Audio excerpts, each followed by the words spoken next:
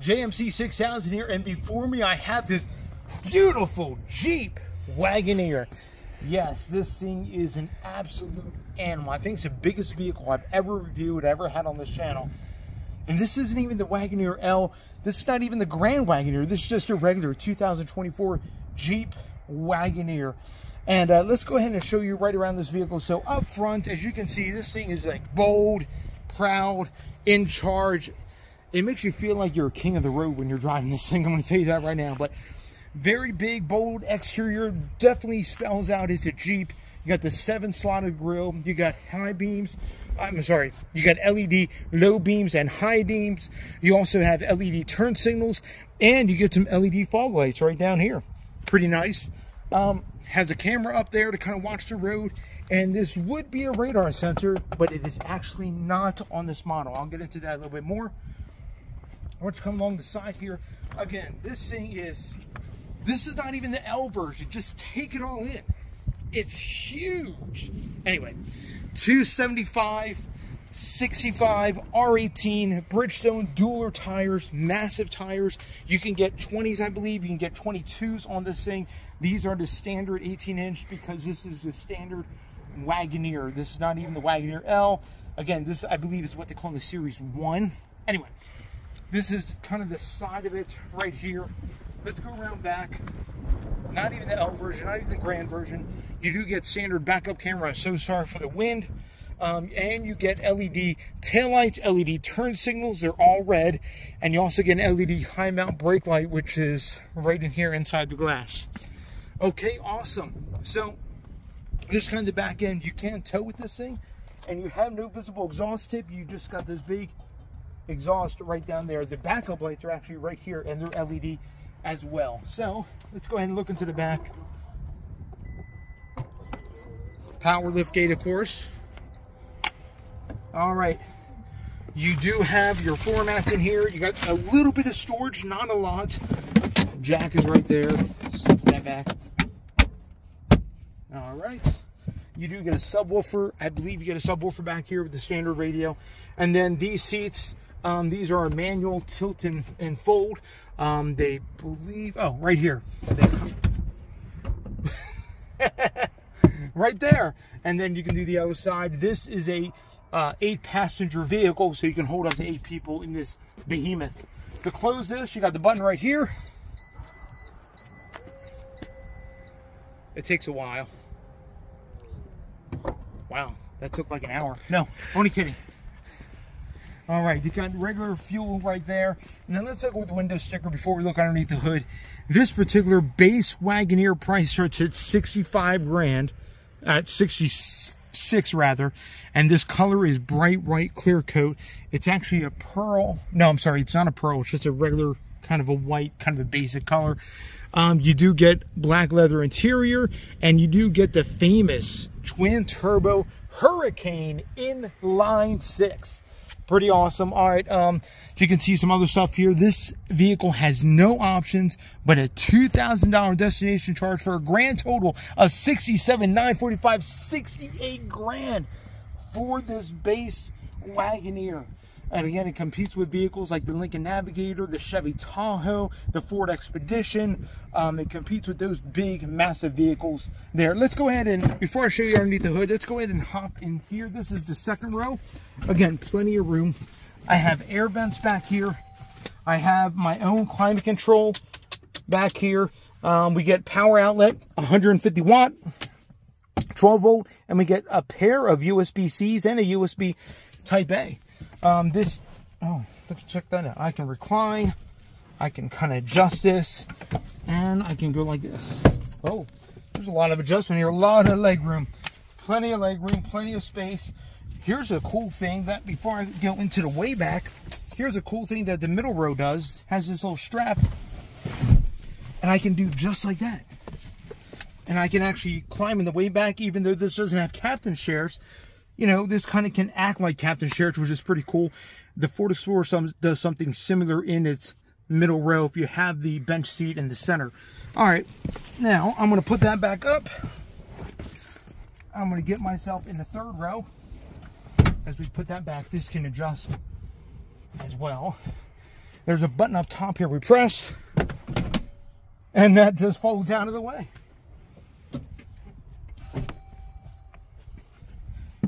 And is for some reason it keeps digging at me. All right, so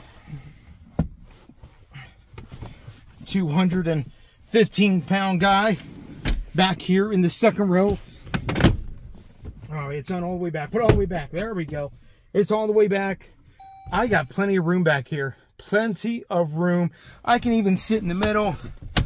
Again, I'm 5'10". I got plenty of room back here. I can sit over here. You can actually fit probably three adults. And there is a way to recline this third row as well. You got armrest back here that's hard plastic, but that's all right. You got air vents. You got USB-C and USB-A on either side. And some little baby, it's not working, but little baby little map lights you have back here. This doesn't have the pano sunroof, just a regular flat cloth roof. All right, I would love to get out of here, but this is actually not a bad space for being a third row, but it is a behemoth of an SUV. Oh, there we go. All right, let me shuffle myself out of here. Let's put the seat back. All right, now let's go ahead and look underneath the hood and look at the twin turbo Hurricane inline six. Okay. This does come with the 8-speed ZF automatic transmission, and there it is. The twin turbo inline six. Now this inline six, I'm gonna do a separate video review on on the JMC Garage Talk. So make sure you subscribe to the channel. You'll be able to see that coming up this Saturday afternoon. We're going to do that separate video of the twin turbo inline six. But suffice it to say, this thing is buttery smooth. It has 420 horsepower, 486 pound-feet of torque. Um, it's right in line with um, Ford's twin turbo V6, the three and a half liter. This is only a three liter. Um, one, the downside of this engine is that it gets horrible fuel economy. Horrible fuel economy. Sorry, I had to emphasize that because it doesn't get very good. And people may be like, well, Chrysler, you know, dropped the Hemi because they wanted to get get a six cylinder that got better fuel economy. Uh, this isn't, no, no. And, and maybe it's because this thing weighs almost 6,000 pounds. Almost 6,000. I believe the weight of this one is like 5,800 and some change but uh, it does not get very good fuel economy. So anyway, let's go ahead and go in the exterior and do an interior review, and I'll like you my pros and cons, likes and dislikes. We'll go forward with that. Also, we're in the interior of the 2024 Jeep Wagoneer. And uh, again, this is the base model. This is kind of like the entry-level Wagoneer. Um, and uh, nothing really, you know, no kind of options on it. I think they call this the Series 1. I'm not exactly sure. The naming are... Uh, no, um, I forget the name of the call. Anyway, the, the naming scheme that Jeep has going on for the Wagoneer is absolutely confusing. So you have Wagoneer, then you have Grand Wagoneer, which you would think Grand Wagoneer would be the bigger version, but no, that's reserved for the L version. And then you have Series 1, 2, and 3. It, and then you have some other, it's just utterly confusing. I don't understand why Jeep did what they did, but hey, and what Jeep is trying to do with this is you don't see Jeep anywhere on this. All you see is Wagoneer on the steering wheel. You see Wagoneer up front. I think it says Wagoneer on the back. You don't see really Jeep anywhere. In fact, I believe the key, which is in my pocket, actually says Wagoneer on it. It does. Look at that. It doesn't even say Jeep on it. It says Wagoneer. So what Jeep is trying to do is kind of make the Wagoneer its kind of own brand within the Jeep identity, almost like what GMC did with Hummer, or with the new Hummer now. They're making Hummer kind of its own brand within the GMC identity. But anyway, this is uh, the Wagoneer. I'm going to put that all the way down. Oh, I can go down low. There we go. Get some, maybe get a little bit of AC going on. Okay, couple things that I want to make mention of this interior. Again, we know the price, 68 grand with destination this interior is nice. I mean, it's it's every bit it feels as worth as what it as what the window sticker says as far as the way this interior feels. That's one of the pros about this thing. So let's go to my likes and dislikes. Uh, number one thing that I like has to be just the comfortability of it. I mean, yes, this thing is huge, but it doesn't feel as huge on the inside as it looks on the outside. Uh, this this massive center console and everything else, nice and lined with felt, pretty nice. Uh, you're sitting in these leather seats. You're not ventilated, but they are heated. Actually, no, wait. They are ventilated. And I can choose my zone for ventilation. Hey, that's pretty cool. They are ventilated seats. All right, well. There, there's a couple things that Jeep does kind of weird, but there are some things that Jeep did right. Ventilated seats in here.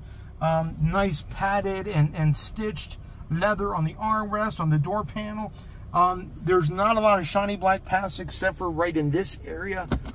Nice hidden compartment that's lined with felt. The glove box is nice, lined with felt. Um, you got stitching on the dash. Just kind of like, uh, I mean, this is genuine stitching, but this isn't leather dash or anything. It's kind of like a, a, a one-piece molded, molded uh, plastic or molded foam. Uh, what we got going on the dash. The steering wheel feels great in hand. Um, it's a twin spoke steering wheel. It's not a three spoke, twin spoke, but the stitching is nice. It it feels great. You got the typical uh, Chrysler controls for to do the radio and everything on the back side of it. Um, you have a limit gear limit selector right here, um, and you don't really have a low. You have park neutral, reverse, or park, reverse, neutral, and drive, and that's it. But you do have different modes. You have a snow mode, you have a sand mode, you have auto, and then you also have a sport mode. And then you have some different, you can close that up. We have auto start stop, off and on. We have traction control, hazards. Uh, we have parking, and then you can turn the tow haul off and on.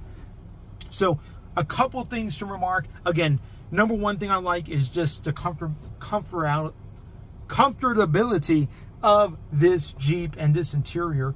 Um, the seats are a little flat. Well, that's okay. We'll we'll continue. I can't go my dislikes yet. But number two thing that I like about this is just how everything is integrated. We have a fully digital gauge cluster. We have this beautiful uh, big. Uh, well, I wouldn't call it a massive screen. There's a lot of black space, but I believe this is like a 10 inch screen. It, and everything's beautifully laid out. You have your up and down for temperature, your max defrost. Uh, you have rear. You can choose whether you want, you know, where you want your comfort or as far as your airspeed to come out at. Uh, different fan speeds, auto, AC. Um, man, this uh, heated or ventilated seat really works nice. Uh, and then uh, recirculate right there, and then they have their own on the passenger side there. So nice. You get the volume knob, you get a tuning knob. They feel okay. I I was coming for a little bit better. Anyway, so that's on number three. Like, it's just how everything kind of it feels well put together. It feels well put together. Initial impressions in this thing are pretty pretty strong. And then final like that I have with this Jeep Wagoneer has to be the powertrain. That's a plus and minus, which we'll get to. But the powertrain, the inline six is buttery smooth. Uh, the eight speed, you don't even know it's there. I mean, it shifts so seamless and so so smoothly that you can't even tell unless you actually look at the gear selector and up here on the dash actually let you know what gear you're in. So you actually, I mean, it's it's very, very nice. Now, let's go to my dislikes. Uh, again, three likes, three dislikes. Here we go. Number one, I'm not a big fan of the outside, the way it looks. I think it's too school bus looking.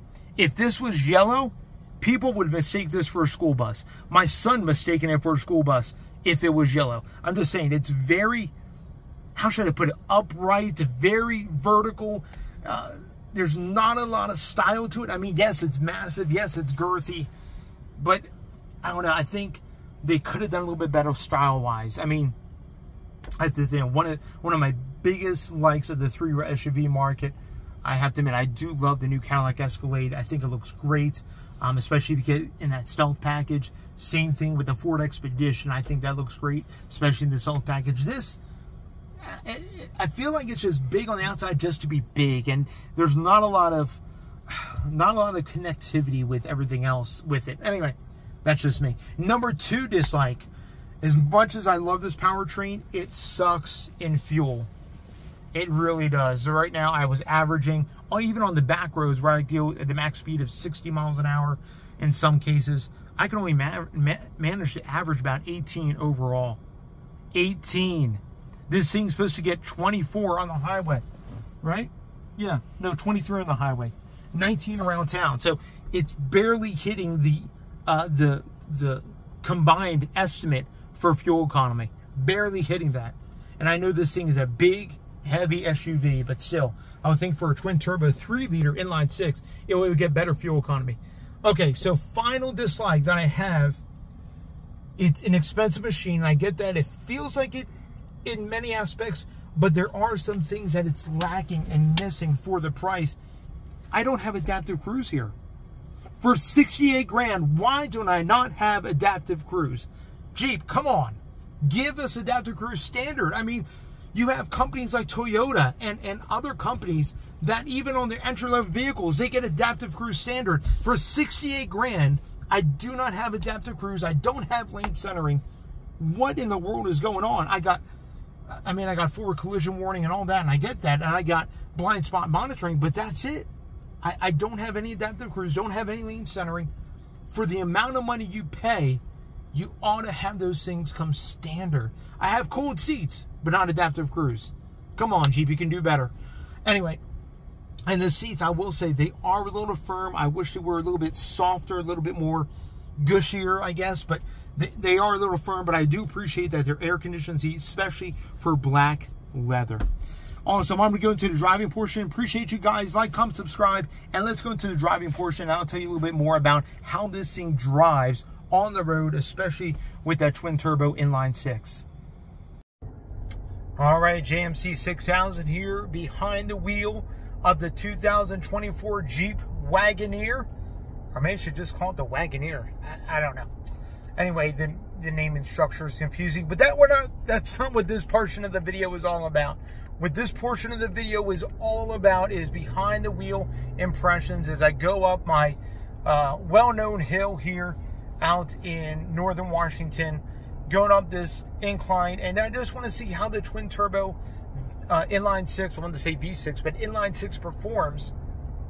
And right now, get this cruise control set to 55 miles an hour, just downshifted, but it's still under two grand. It's in seventh gear. It's about ready to plateau, and then I'll start to climb up again. A couple things to note about this powertrain. Again, like I said before in my review, it is buttery smooth.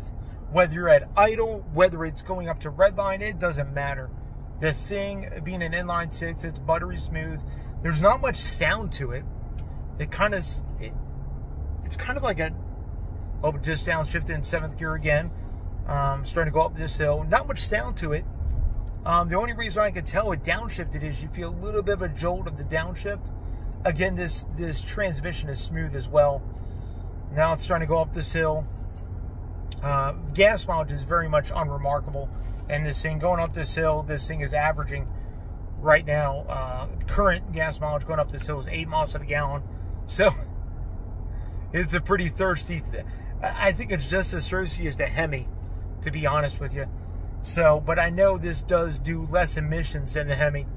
Anyway, a couple things of how the Jeep Wagoneer drives. Now, the Wagoneer is based off the full-size Ram truck platform. So it's very much a full-size SUV, body on frame, nothing uh, really fancy there. Does have coil springs in the back, independent front suspension up front. Um, and it rides like a big SUV. Um, it almost has like a, a very pillowy, cushiony ride at times. The It can get a little jarring under some jostulations in the road, but unjostulations in the road. But for the most part, it's a very smooth, very pillowy, very bouncy kind of comfy ride. Uh, you definitely don't want to take corners in this thing. You definitely don't want to carve canyons in this thing, but um, it does okay. I will say this, when you get on the power, it, it feels like this thing, you're in a roller coaster. It's going to take you for a ride when you get on the power. Um, right now, flattened out over that hill, pretty much uneventful. Um, it's in eighth gear right now, cruising just under 1,500 RPMs uh, at 55 miles an hour. So, have to say again the biggest downside and disappointment has to be that it does not have it doesn't have adaptive cruise. And there's not much I can do with the gauge cluster. I mean the the gauge cluster pretty much I have a few screens to choose from. You can see my average miles per gallon right now. Um, I can do a couple things but there's not much I can do I mean it's not very configurable um, you got several things you can kind of configure, but Again, this is the behind the wheel version of view. I love the way Android Auto looks. Uh, nice and clear, nice and clean on the screen. Very nice. All right, well, this is my overall review. What do I think? I think in the Wagoneer, there's some better options out there if you want to go.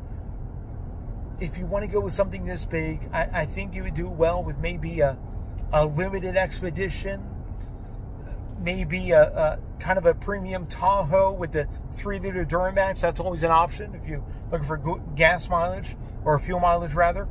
Um, but there's some better options out there for the money, I believe. So, anyway, you guys be blessed. Have a wonderful day. You like this video, please like, comment, subscribe, hit that bell notification. I upload every single Wednesday morning and every single Saturday. You guys be blessed, and we'll catch you on the next one. Awesome.